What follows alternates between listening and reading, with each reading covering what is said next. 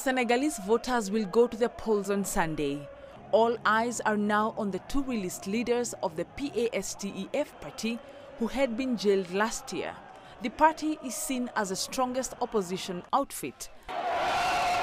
Ousmane Sonko and his major ally Bassirou Diomaye Faye will now have to quickly hit the ground running and mobilize their supporters according to observers. Sonko is banking Faye in the presidential poll. A Senegalese analyst says the freeing of Sonko and his second in command will change the dynamics of the 24th March presidential election. La suite, c'est clair. We know what will happen next. Sonko and Faye will remobilize the supporters here in Dakar and everywhere.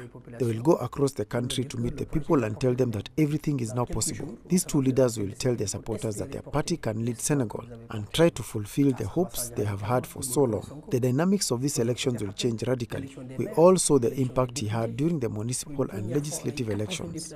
It is thanks to him that the opposition has 80 MPs, something that has never happened before.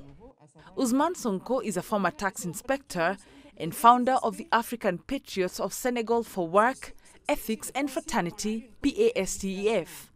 He was jailed after being prosecuted over incitement to insurrection and endangering state security, among other charges. His second in command in the party, Basiru Diomaye Faye, serves as a tax inspector and secretary general of the PASTEF party. He was charged with contempt of court, defamation, and acts likely to disturb the public peace. But what does the release of these two opposition leaders mean for both Sonko and the government supporters? I think that Ousmane Sonko was arrested for purely political reasons because it was really difficult to understand what the judiciary was accusing him of. I'm convinced that the decision to release him with the PASTEF candidate is ideal. This will help bring peace to our country. I have never believed the allegations against Usmani because they're all unfounded. Sonko is an honest man full of conviction. His first priority is the good of Senegal. It's good that the President of the Republic has decided to release Ousmane Sonko and Diomaye Faye. We don't want anyone to go to prison, and these two men are fathers. They got into trouble with the law and had to go to prison. If they are free today, it's good for everyone. It's very difficult to stay in prison away from your loved ones. I'm not a supporter of Sonko, but I think the president did the right thing in freeing them. My leader is Karim Wade. He was also arrested for political reasons and is now free thanks to political decision. Ousmane Sonko appeared in public for the first time on Friday afternoon in Dakar alongside Faye. The two opposition leaders are upbeat about their party's chances in the Sunday polls.